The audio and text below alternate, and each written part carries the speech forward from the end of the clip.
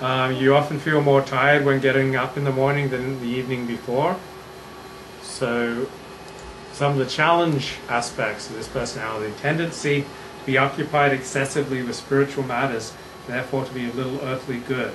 There can also be a tendency toward foolishness, self deception, and a lack of restraint. There is often a lack of self love and a need to be healed. So, this is you and me. I think this is really speaking to us. I think it's really speaking to you, maybe, but it's got nothing to do with me. You don't think any of that has to do with you? It's a bunch of crap. No, it has nothing to do with me. Okay, so anyway, those are your bottles. Okay.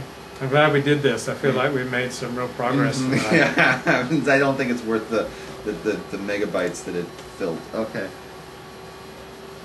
Okay, so we No- have nobody's in the chat room. nobody's in the chat room. Because it's because the uh, sound is so god awful. All right, can I can we go on to another thing? Yes. All right. Uh, every week we've been doing what's called the uh, lab, the labs, the Rabbs and Levy review. All right. hmm And just to explain real quickly where it is, is um, it's a segment where we uh, discuss a non-Jew in Yeah. the history of uh, in history who had some sort of effect or involvement or connection to the Jews. when We discuss them. Adrian Beltre, Uh, Adrian Beltre tonight would definitely be a person we want a non-Jew who's had an effect on Jews, because I'm sure there were Jews who were affected by the home run. Yeah, I was very affected by it. Yeah, I mean, you were practically in tears. So I asked, uh, what I'm doing again is I'm asking uh, people who are watching the video Mm-hmm. uh, to give us the name of a non-Jew who they would, in history, who they would like us to speak yeah. about. Yeah. Viewer Michelle, I asked the question last time. and Viewer Yeah. Michelle said she uh, she read she said the following. She asked about Winston Churchill. Yeah. You've heard of him, Yeah. and she asked about his policy regarding Jews and the Jewish homeland. Was he really a supporter and defender of Jews, or was he wanting to relocate the Jews out of the United Kingdom due to anti-Semitism? Okay. Have you ever asked yourself that question? I always thought Winston Churchill was a friend of the Jews. Okay. So here's my answer. Okay. One claim I found especially laughable was the idea that Churchill was an anti-Semite. Yeah. Okay, you would agree with me on that. Yes. After reading an excellent book on the matter called Churchill and the Jews, have you ever heard about this? There's a book called Churchill and the Jews by the well-respected historian, and I believe his name is Martin Gilbert. Martin Gilbert. You've yeah. heard of him. Yeah. And read he's many of Jewish. his books. I met him. Told him I've read all your books, but 50, because he's written like 60 books. He's Jewish, right? Yeah. Okay. I wasn't. su- I can't tell Yeah. but if he was Jewish or not. Yeah. But it's wiki. big. It seemed like he's Jewish. Yes. Oh, he is. And Yes. you've met him. Yes. So you wanted to He spoke at Sinai Temple. Oh, okay. See, these are the places I can't go to. So, uh, do you want to f- t- go deeper on it? Um, he's a very well. He's the official biographer of Winston Churchill. Okay. And what did you get from reading that book? Uh, he's just he's just very he's a, he's a good writer. He does. No, no, no. What did you think about Winston Churchill based on that book? I don't remember. Okay. Well, for me, But it I've always thought of Churchill as very pro-Jewish. yeah, it's plain to see that the opposite of anti-Semitism would be the case. In fact, Churchill was a philo. Is that how you say a philo-Semite? Philo-Semite. Philo-Semite in a time of history when anti-Semitism was ripe as well as being from uh, as the, you know as the, so much anti-Semitism going on in the, in the world back then. Yeah. So for him to be not that way was a huge step, Yeah. right? As well as Churchill was from an upper class background, and the upper class backgrounds back then were notorious for their anti-Semitism. Yeah. For Winston Churchill to be none of that shows just how many steps he was away from that kind of Mm-hmm. anti-Semitic thinking, right? Um, uh, when Churchill's comments about Jewish revolutionaries mentioned on Working Class Tory, and that's what people point to as saying, "Oh, look, he's an anti-Semite." You know about this? Yeah.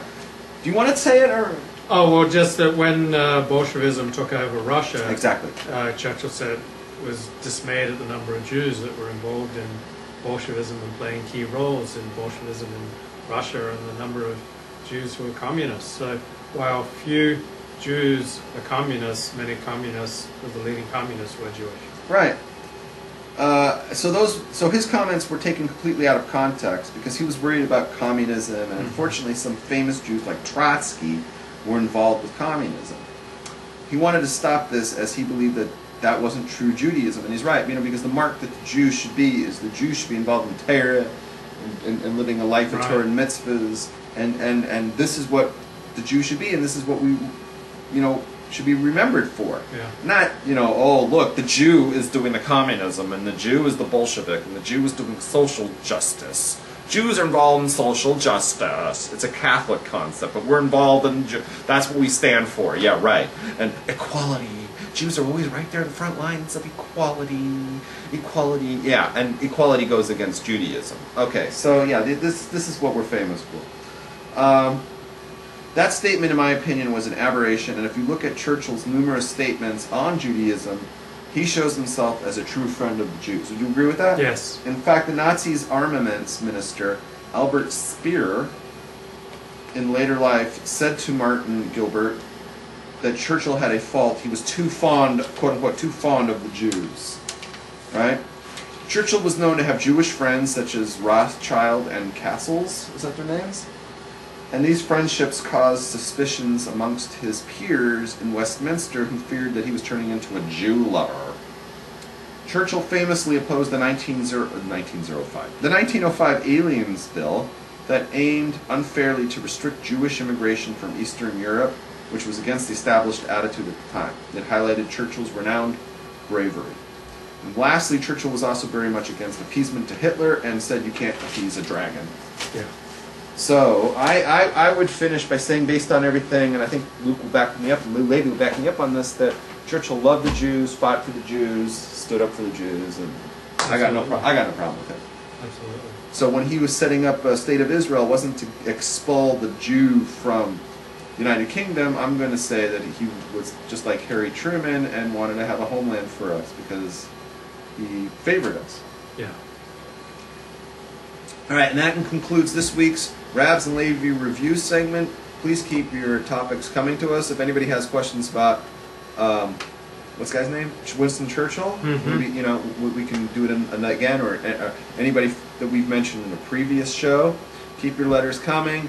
Keep watching our shows, right? And um, you know we know we're famous. We know we're reaching everybody right now. Yeah. So Brad Gabbard, I guess he's a rookie. He's the quarterback for Jacksonville now. Okay. Looks like he's driving. This is a really, you know, here this Six is nothing. this is what we got going on, folks.